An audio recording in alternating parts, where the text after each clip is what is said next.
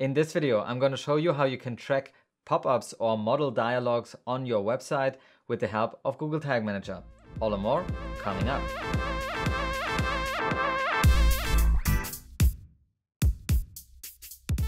Hey there and welcome back to another video of Measure School teaching you the tech tools and tactics of today's digital marketing world. Now today we want to take a look at a new tracking technique that has recently been made possible by a new trigger within Google Tag Manager.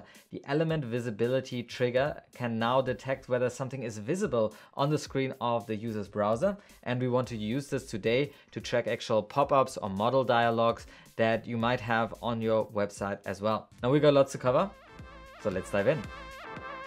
Alright, back in our demo shop, we today want to track when somebody clicks on this quick view button and our pop-up with our quick view actually opens up. Again, if I click here on quick view, the page doesn't reload, it just opens up this new overlay or pop-up window that you see right here. So how can we track this with Google Tag Manager? Let's go over to Google Tag Manager and take a look at our available triggers.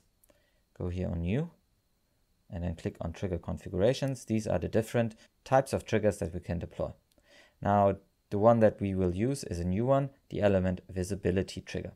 Now this trigger will actually detect whether something is visible in the viewport of the screen. All you need is a way to detect whether an element is visible or not. All you need is to tell this trigger to have a look at a certain element and if it's visible to the user. In order to do this, you need to either tell Google Tag Manager the ID of this element or the CSS selector. Now you need to be a little bit familiar with HTML and CSS in order to configure this correctly. I'm going to link up some resources down below that you can check out to learn all about CSS selectors. Now the first thing that we need to do is go back to our page and actually inspect the element that is now visible to us. So this is the second state, the state when your element is actually visible. And you select the element once you see that you have your developer tools open in this elements pane, you will see the document object model. Now here we can hover over the different nodes and select the node that we want to observe. Now there are different methods of actually doing this. I always try to go as high up as possible and see the node that actually appears on the screen. So once I close this, I see that this node actually changes. And once I go back to quick view, we have a few things that change right here. And this is what we want to observe or monitor throughout user being on the site if this changes and then fire a tag. Now we can see here that this element actually doesn't have an ID and therefore we need to make use of this CSS selector method that we saw in our trigger right here. So what do we implement here? Again, you need to know a little bit about how to read HTML, but also then select an element with a CSS selector. But it closely models a command that we can try out in our console itself. And this command is document dot query selector all and here we can input the query selector with these parentheses and quotation marks. So here we have our class. And if you would say this is one class, remodal is opened. Just going to copy this here and implement this here. I'll put a dot in front of it because that's how you select classes. I press enter and I see I get three elements back that, that were found, these three elements here. Now, for me, this is not specific enough because I actually want to try to keep this down to one element that I should see if it's in the viewport or not. Otherwise, there might be some unforeseen effects to this trigger and therefore I will look up what else could I use. So here we have the remodal wrapper as well. So I'm gonna see if that's unique. Let's copy this and put it into our CSS selector press enter and we see, okay, there's only one element that would be observed now. This is visible to the user. And if I click on this X button and repeat the command, I can do this by pressing the up arrow, pressing enter. I see now this element is still there, but it has slightly changed because the class change to remodal is closed. Now this is a strong indicator that we can use this as a CSS selector because the element is on the page. Once it changes, the, our trigger could detect this and then fire our event. So let's take this CSS selector, copy this and go back to our Google Tag Manager. And here we can implement our CSS selector, just like that. And we have different other options. When do we want to fire this trigger?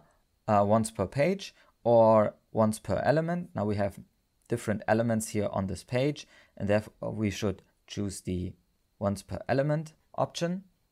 Then we can choose how much of the element should be visible. 50% is okay because it will be on the whole screen anyways.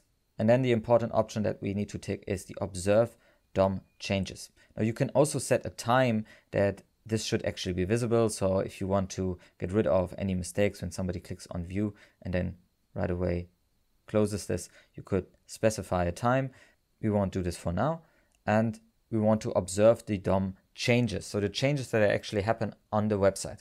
Now this brings up this little warning here and it warns you that monitoring these different elements might result in a diminished site performance. Now this has nothing to do with the page speed itself, um, how long it takes to actually load the page. But after the page has loaded and you have maybe multiple of these triggers running, Google Tag Manager needs to monitor all of these and therefore site performance might suffer. So just be aware of that. For us, it's not a big issue because we are only looking at really one element on the page and are monitoring that.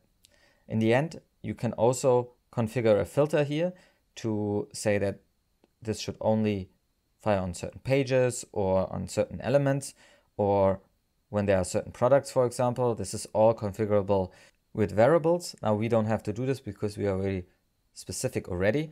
And in the end, don't forget to give this a name. So visibility and that should do it. Let's save this. And now we can go into our preview and debug mode. And first of all, see whether our CSS selector was configured correctly. Go back to the page, reload that. Going to click on the quick. And we see our GTM element visibility has now fired some data into the data layer right here. So this seems to work. Let's try this out on a different quick view. And unfortunately, it doesn't fire our element visibility. Um, that might be something in the trigger. Let's see what I've done wrong here. Uh, actually, this method should be chosen if we want to fire this every time somebody clicks on the quick view button. So let's save this and try this out again. Refresh, refresh here. And we have an element visibility. We have an element visibility again. So every time somebody clicks on the quick view, this should now be something that is transferred in a data layer. And now we just need to fire a tag upon this. So all we need to do is to configure a tag. We can, for example, use a Google Analytics event tag. Configure this tag with a universal analytics code. This will fire an event and we'll input a category and an action. Now, obviously, we could also fill this out with some more useful information, such as which product was actually opened. You could pull, for example, the name here.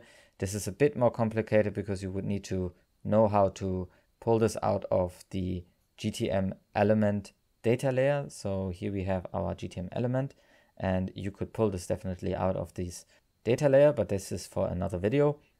So we'll just be fine with this. And then we just need to enter our Google Tag Manager code. We could do this through a variable or right here in the tracking ID. That's something we find in our Google Analytics account under the admin section right here. Let's use that and enter this right here. All right, and then we need to attach our trigger. Save this, refresh our page, refresh our page here. And every time somebody clicks on the quick view, you can see our event now fires. This should also be possible to see in the real-time events. So here we have our quick view. This should also be then transferred under the audience, uh, no, the behavior tab and also events.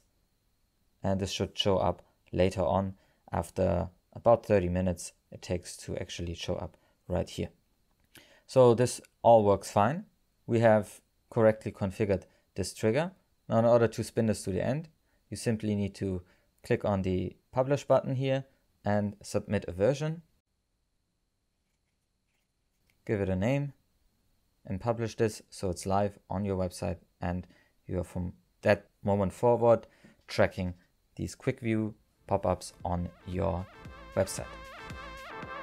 Alright, so there you have it. This is how you can track pop-ups or modal dialogues via Google Tag Manager with this new element visibility trigger. Now, if you have any questions, then I'd love to hear from you in the comments below. And if you like this video, then give us a thumbs up and subscribe to our channel right over there because we bring you new videos just like this one every week. Now, my name is Julian. Till next time.